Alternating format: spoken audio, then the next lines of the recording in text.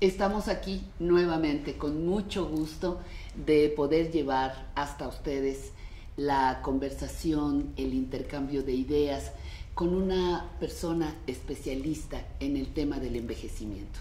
Para mí es un honor darle la bienvenida a nuestra invitada de esta ocasión, que es la psicóloga María Cristina Pintos, psicoterapeuta, tanatóloga, y decíamos aquí entre, entre nosotros, gerontoactivista, que así nos llamamos las personas que estamos tratando de abrir un camino distinto para el envejecimiento. Bienvenida Cristina, muchísimas gracias.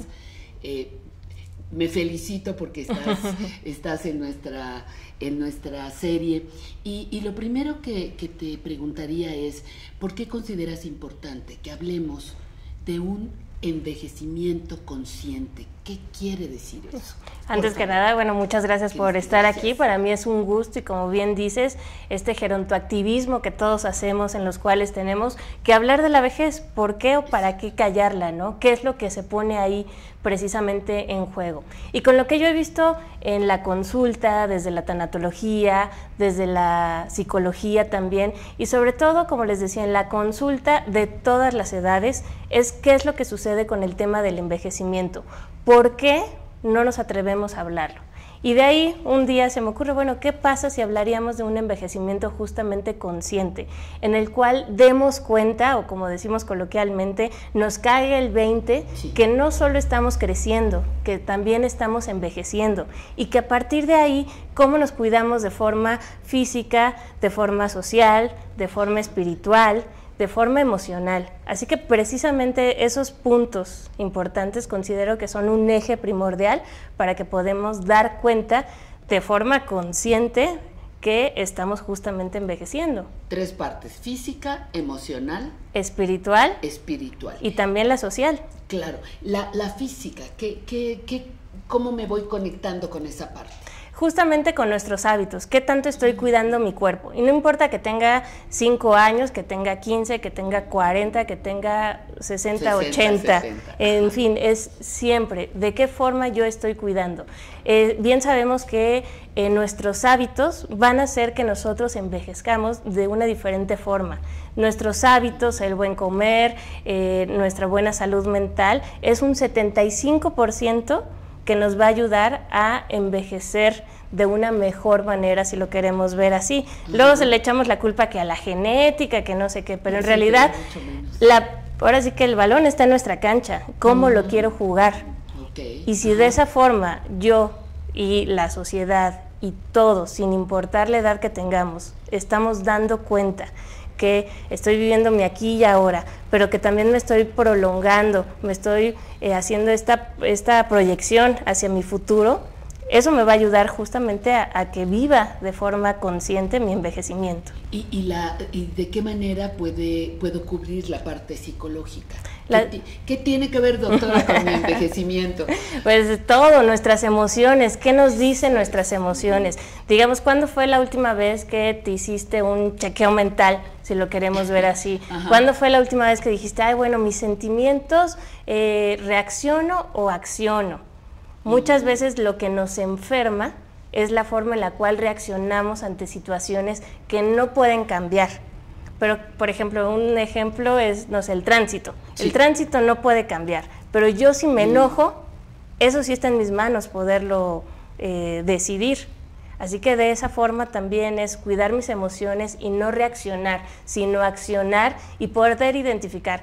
¿Eso está en mi control? No. ¿Pero qué sí está en mi control? Bueno, pues la actitud que yo tomo ante este hecho. Y de esa forma cuido mis emociones. Entonces el envejecimiento no lo puedo impedir, pero sí puedo tener una actitud y un comportamiento frente a esto que es natural y yo no puedo detener. Esa sería la parte, Exactamente. La parte física.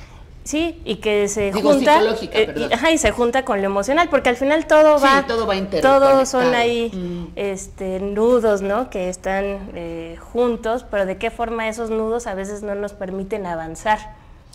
¿Qué, qué, qué sucede? Eh, dijiste al principio de tu participación que teníamos que darnos cuenta de que no solamente estamos creciendo, dijiste así, sino estamos envejeciendo.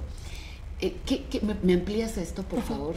Porque uno cree que nada más crece y crece y crece, pero envejeces, envejeces, envejeces. Exactamente, es la, la pregunta, ¿no? ¿Cuándo empezamos a envejecer?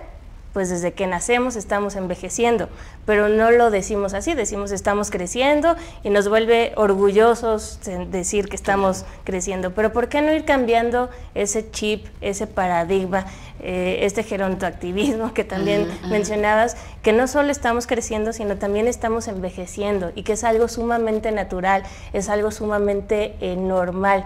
Y en la medida en la cual yo doy cuenta de esos cambios de mi cuerpo, de esos cambios que si antes corría, y ahora este camino, si yo doy dando cuenta, voy también superando pues las pérdidas, voy, voy integrando lo que ha sido mi vida, estoy reconociendo que sí, este crecimiento también tiene ese lado de envejecimiento, pero desde otra perspectiva. Hablamos muchísimo de cambiar ese paradigma que es de la vejez como algo que no se quisiera, pero la vejez hay pérdidas, sí, pero ¿En qué etapa de la vida no las hay? Si lo ponemos a ver de esa forma, el adolescente vive un duelo por dejar de ser niño. Sí. Por todas las pérdidas que hay del cuerpo infantil, de los padres idealizados, etcétera, etcétera. Pero ¿qué pasa también con la vejez? ¿Por qué no la podemos ver así? Nos conecta muchas fibras, así que eh, por eso esta palabra que a mí se me hace pues maravillosa, consciente, de dar cuenta qué más está ahí, qué me genera a mí el hecho de estar no solo creciendo, sino también envejeciendo. Y que precisamente si yo doy cuenta, mi envejecimiento va a ser de una forma más real, más libre, voy a poder elaborar esos duelos, voy a poder reconocer lo que tengo, lo que no tengo y sobre todo adaptarme a lo que ahora la vida es.